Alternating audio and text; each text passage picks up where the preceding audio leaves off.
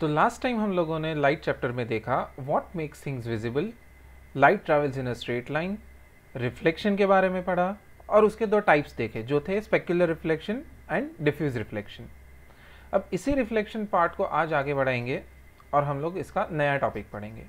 तो चलिए शुरू करते हैं। सो फ़र्स्ट टॉपिक आज का है laws of reflection last time हम लोगों ने जो सारी चीज़ें डिस्कस की, उसके ऊपर से दो लॉज बने हैं। ऑब्वियसली जो चीज़ें हर जगह पे लागू होती हो उन्हें हम लॉस की तरह कंसिडर कर सकते हैं। सो so, सबसे पहले ये लॉस डिस्कस करने के लिए मुझे क्या चाहिए? तो चलिए फ़र्स्ट लॉ से शुरुआत करते हैं।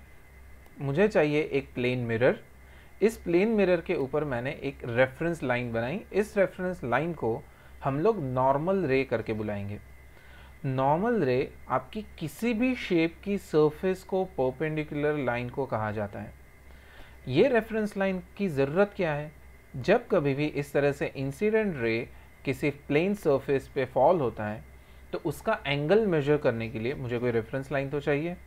तो यहीं पे मुझे इंसिडेंट एंगल मेजर करने के लिए ये रेफरेंस लाइन या नॉर्मल रे काम आएगा। अब हमारा इंसिडेंट रे जिस एंगल पे आया ये जो रिफ्लेक्टेड रे मिल रहा है वो भी हमें उसी एंगल पे वापस दूसरी डायरेक्शन में जाता हुआ मिलेगा। सो so, यही सिंपली हमारा फ़र्स्ट लॉ ऑफ़ रिफ्लेक्शन है विच स्टेट्स दैट कि हमारा जो angle of incident and angle of reflection दोनों सेम होते हैं। So the angle of incidence is equal to the angle of reflection it's as simple as that तो चलिए next law भी देख लेते हैं। सेकेंड लॉ के लिए भी मुझे सेम सेटअप चाहिए। एक प्लेन मिरर चाहिए। इंसिडेंट रे चाहिए नॉर्मल रे और रिफ्लेक्टेड रे अब इस टॉपिक के अंदर हम लोगों को समझना क्या है? सेकेंड लॉ में हम लोगों ने जो सेटअप लिया है, वो पहले लॉ में तो था तो ये अलग कैसे हुआ? चलिए, वही चीज़ डिस्कस करते हैं। आप लोगों ने मैथमेटिक्स में जब कभी भी कोऑर्डिनेट सिस्टम्स या ग्राफ पढ़ना शुरू किया होगा, तब आपके मैथ टीचर ने ज़रूर बोला होगा कि आपके घर का कोना पकड़ लो वो कोने में हम लोगों को तीन लाइंस दिखाई देंगी और उन तीन लाइंस को ही हम लोगों ने X axis Y axis and Z axis बोला था। इसी तरह हम थ्री डायमेंशनल ऑब्जेक्ट्स को डिफाइन करते हैं कि जो तीनों एक्सिस या तीनों कोऑर्डिनेट्स में हो। बट यहाँ पे जो कोई भी स्क्रीन के सामने हम लोग बैठे हैं तो ये स्क्रीन का हॉरिजॉन्टल पार्ट हम लोग एक्स एक्सिस कंसिडर करेंगे। वर्टिकल लाइन जो है, उसको हम लोग वाई एक्सिस कंसिडर करेंगे।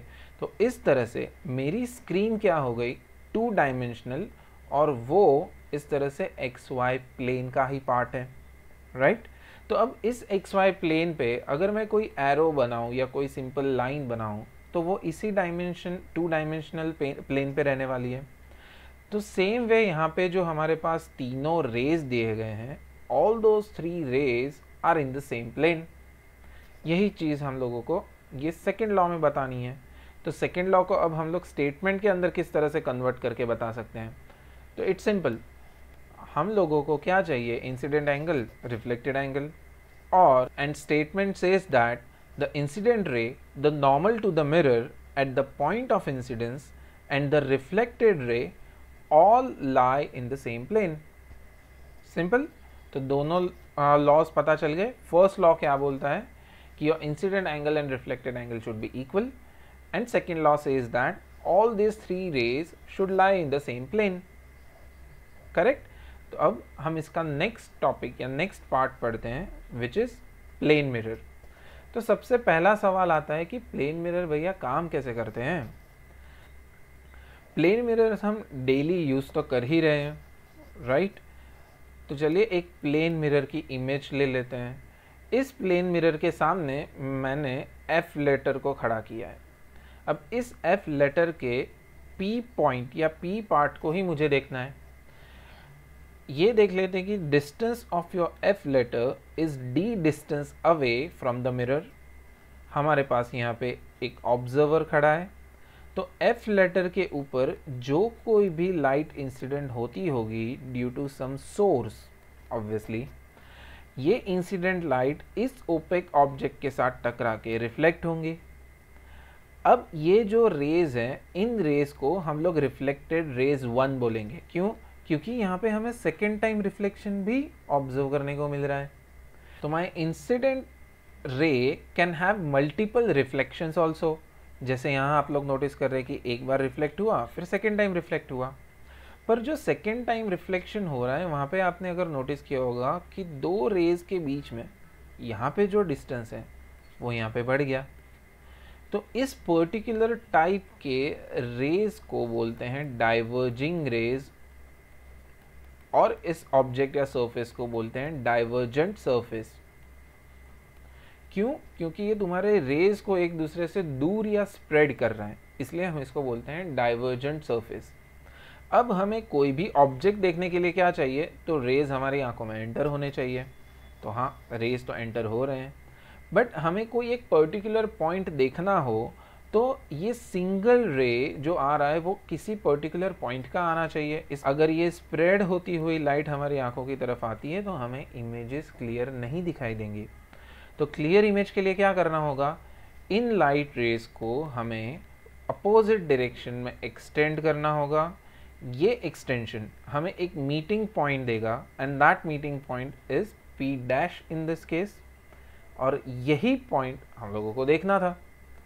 अगर आप लोगों ने नोटिस किया हो तो यहाँ पे जो एफ़ लेटर है, वो यहाँ पे उल्टा हो गया। दो their distance is same from the mirror तो यहाँ पे हम लोग क्या बता सकते हैं कि प्लेन मिरर में मुझे इमेज कैसी मिलती है?